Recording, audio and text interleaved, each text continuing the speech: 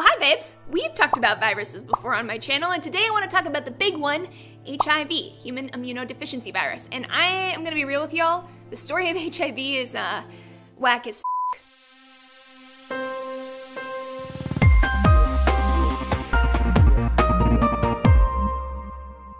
Oh man, where do we begin? Let's start with the small stuff.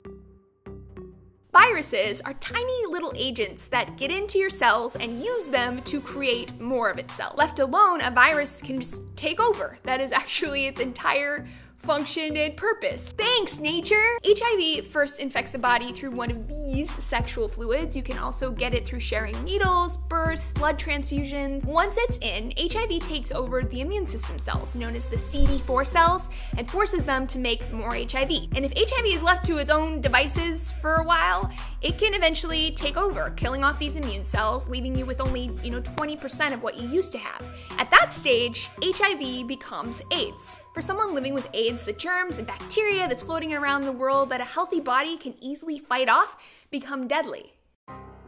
HIV is actually relatively new. Scientists have used mutations in HIV's genetic code to trace it all the way back to the beginning. And that was in the 1920s in the city of Kinshasa, which is the capital of the Democratic Republic of Congo. At the time, hunters were killing and eating chimps, and exposure to the chimp's blood, either by eating it or through an open wound, is how simian immunodeficiency virus, SIV, was first transmitted to humans. From there, scientists believe that HIV was able to spread through a perfect storm. You got rapid population growth, a booming sex trade, busy railways and waterways. By 1937, HIV had spread a city over to Brazzaville, then across the sea to Haiti in the 1960s, then up to the United States in the 1970s. By 1981, we start seeing medical reports circulating of a mysterious illness gradually, and then suddenly, hundreds of people are getting opportunistic infections and dying. The first victims were mostly gay men and drug addicts. The medical community at the time, they did not have the resources to figure out what was going on, but they did their best to respond. The US government, on the other hand, which is responsible for facilitating that sort of thing, completely ignored what was going on.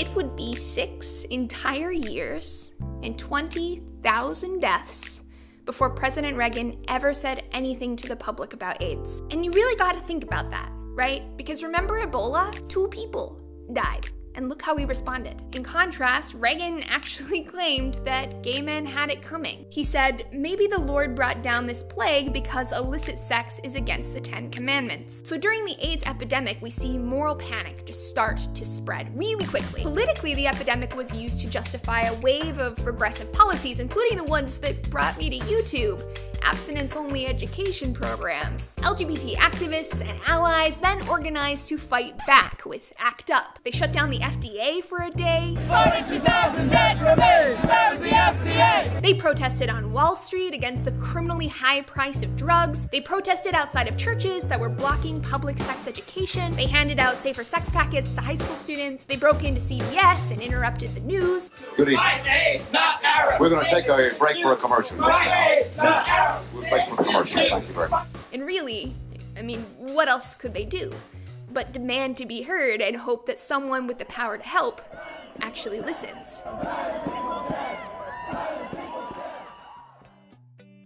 Unlike people, HIV does not discriminate. So how do you stay safe? Here is your prevention checklist. Number one, condoms, of course, every time. Two, gotta know your status. Get tested regularly. The earlier that you catch HIV, the less damage that it can do to you. Three, PrEP. It's a new pill. This is a daily pill that high-risk folks can take every day to prevent HIV. And four, PEP. This is an emergency prevention pill that you can take up to three days after potential exposure to HIV. And the big question, of course, is will there be a cure? And the answer is yes positive thinking. Eventually, one person on planet Earth has actually been completely cured. He was cured after receiving a stem cell transplant from someone who's actually immune to HIV. About 1% of the population has a gene mutation called Delta 32, and it basically makes it impossible for the HIV to get into those CD4 cells. Discovering Delta 32 led to the development of a new drug and more possibilities for a cure. People with HIV today can live long, normal, healthy, vibrant lives without it ever becoming AIDS. Treatments are so effective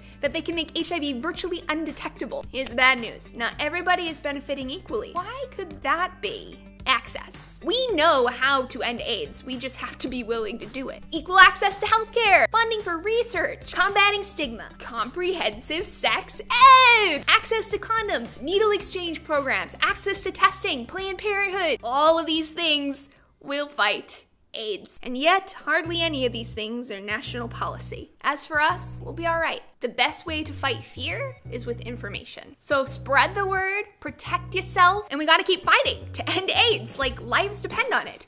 Because they do. It's not over yet. Stay safe, y'all. Lots of love.